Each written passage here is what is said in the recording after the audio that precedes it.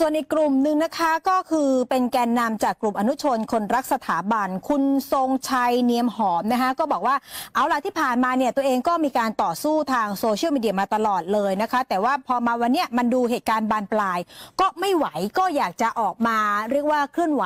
ทางภาคสนามบ้าง ซึ่งสิ่งที่ทำก็คืออะไรก็คือการไปเผยแพร่ข้อมูลที่ถูกต้องให้กับเยาวชนและก็บุคคลทั่วไปนะคะทีนี้ตัวของคุณทรงชัยก็พูดถึงการชุมนุมเมื่อคืนเหมือนกันบอกติดตามตลอดเลย เป็นห่วงสวัสดิภาพของเด็กและเยาวชนที่ออกมาร่วมกิจกรรม เพราะว่าบางคนเนี่ยอาจจะได้ข้อมูลที่บิดเบือนจากความเป็นจริง ไปฟังเสียงคุณทรงชัยค่ะ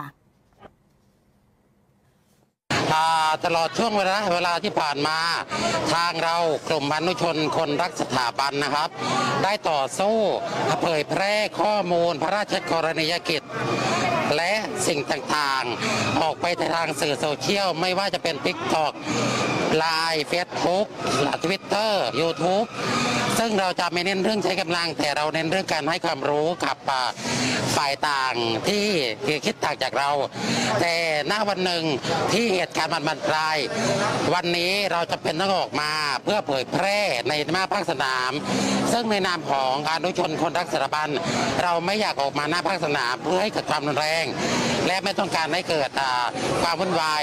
แต่เมื่อเหตุการณ์มันเกิดขึ้นมาถึงขั้นนี้แล้ว เราต้องขยายการสื่อสารออกมาให้มากขึ้นกว่าเดิม นอกจากการที่อยู่ในแพลตฟอร์มต่างๆ เราจะเป็นต้องออกมาภาคสนามหวังว่าทุกท่านจะเข้าใจในเจตนารมณ์ของ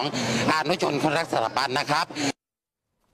นี่คือกลุ่มนี้เนี่ยก็ค่ะเอ่อเรียบร้อยนะฮะอืมก็คือว่าดำเนินการจัดการชุมนุมไป โดยที่ไม่ได้มีความวุ่นวายอะไรเป็นระเบียบดี แล้วก็เดี๋ยวพอหลังจาก 18นาฬิกาเคารพธงชาติเสร็จก็จะแยกย้ายกันกลับบ้านค่ะนะฮะก็ไม่มีอะไรร้องเพลงชาติ แล้วก็ร้องเพลงสรรเสริญพระบารมีอืมอันนี้คือบรรยากาศที่เกิดขึ้นนะครับ อย่าค่ะลืมว่าการเคลื่อนไหวนั้นไม่ได้มีแค่ฝั่งชู 3 นิ้วนะฮะอืมกลุ่มปกป้องสถาบันก็เป็นพลังเงียบที่รอ ที่จะออกมาเคลื่อนไหวได้ทุกเมื่อเหมือนกันนะฮะอืมคุณผู้ชมครับพักกันสัก